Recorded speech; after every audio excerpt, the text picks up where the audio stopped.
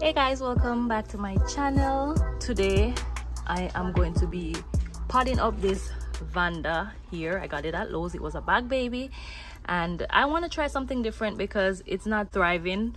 I did give you guys an update so you could go ahead and check that out and how they are doing.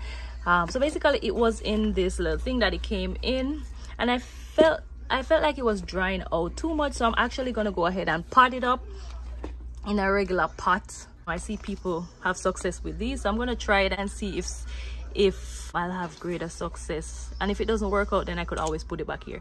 But the the fun thing about this hobby of growing plants is that it's all about experimenting and see what works for you in your climate.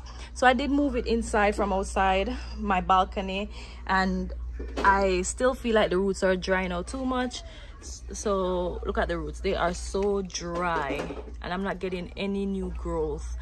So i want to pot it up in this. Uh, this is some bark. This is the bark that i use. So i'm going to use that's what's right there and then i'm going to use i'm going to use this right here and then top it off with a little sphagnum moss to to retain some moisture. So hopefully this i will have some success with this because i want to see some activity some growth something happening on these orchids so i started to do all this. I drilled some holes in this pot because i know vanda the roots will are going to need somewhere to go out. Um, and i figure why not show you guys what i'm doing? All right so let's go. All right so here we go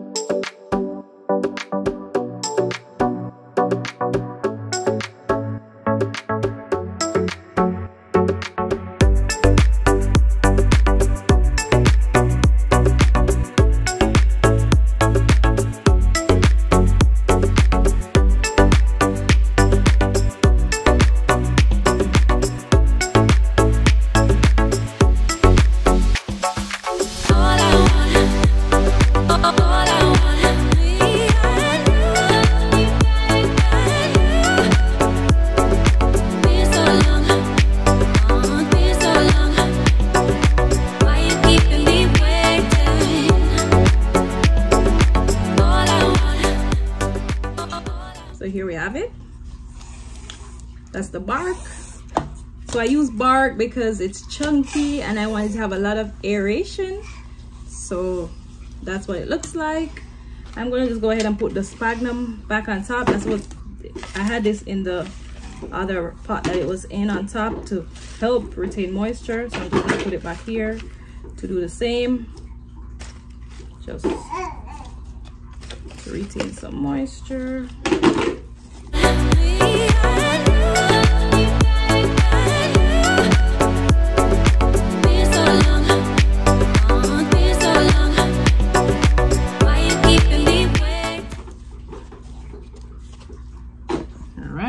here we have it.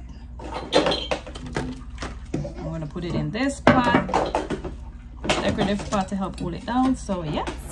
Now i'm gonna be giving it a good drink. I'm gonna give it a good drink of water. So this way i don't have to water it as much hopefully it does good. But if not then i'll just take it back out. I'm just experimenting. You'll be surprised what will work.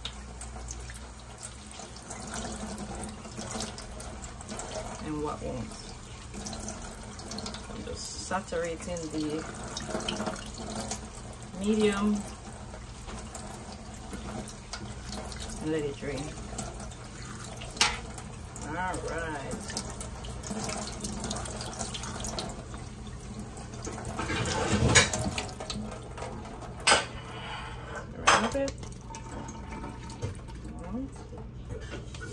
I don't want any water sitting in the so let's put it into the spot where it's gonna be its forever home hopefully